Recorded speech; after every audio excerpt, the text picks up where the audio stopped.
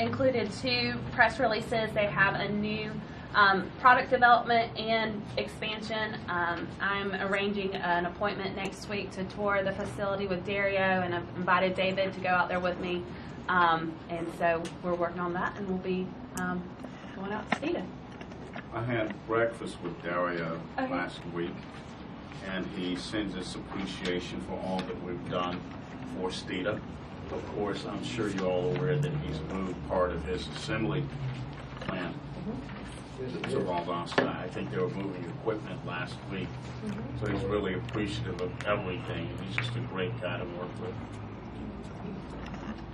I'm going to embarrass Meghan and tell you Meghan graduated from the Georgia Academy of Economic Development this month. So she has completed all of her courses there. So congratulations to her. Congratulations.